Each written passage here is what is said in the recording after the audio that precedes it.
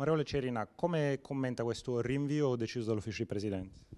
Sicuramente il rinvio c'è stato, un rallentamento c'è stato, questo è dovuto all'implosione della maggioranza che avevamo costruito per colpa dei 5 Stelle e del loro eh, dire, passo indietro. Stupisce che Di Maio e il direttorio abbiano voluto commissariare il gruppo dei senatori con i quali avevamo lavorato bene e con coerenza fino adesso. È chiaro che ognuno si prenderà le sue responsabilità, ma il PD vuole fare la legge, vuole fare una buona legge, vuole garantire i bambini e le famiglie arcobaleno.